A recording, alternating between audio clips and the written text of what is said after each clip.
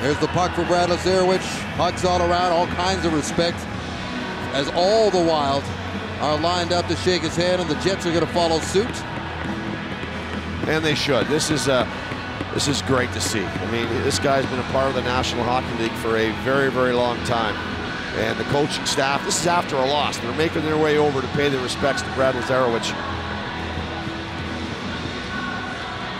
And the Jets will wait in turn and do the same. And uh, what a great member of the fraternity he's been.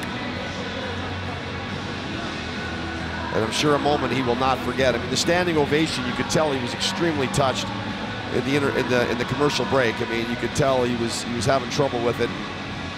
Again, this is something he'll never ever forget these two teams.